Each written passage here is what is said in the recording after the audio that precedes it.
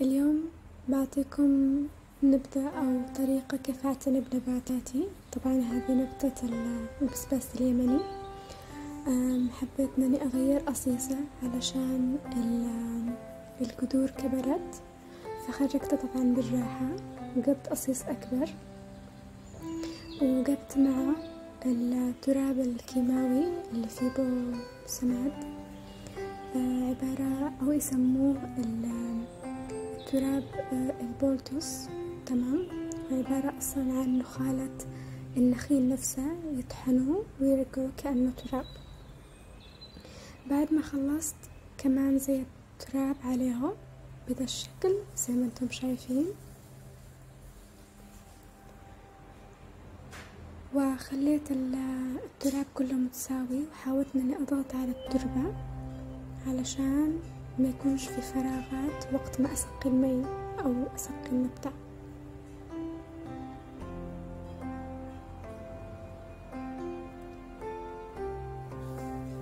طبعا النبات أو تربة البوتوس الكيماوية لازم تتغير كل ثلاث شهور.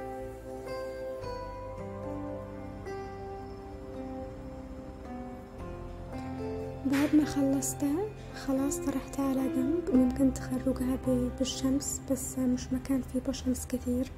يعني يكفي من ساعة ثلاث ساعات باليوم بس وما تكون الشمس حارقة. وحابة النبات الباقي اللي معي نبات الزينة. حابة إني أغير قصيصه يعني بدل ما هو بالفخار. حبيت أغيره.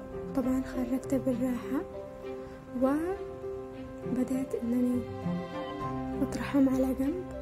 ومعي برضو نبات العطري اللي يسموه الحبق أو الحبق. تمام؟ هو من فصيلة النعناع والريحان والحاجات هذه اللي فيها ريحة نعملها برضو بالشاي. طبعا النبتة هذه تساعد بالاسترخاء جدا حلوة. الناس اللي معاهم توتر وقلق وكذا فبتفيدهم كثير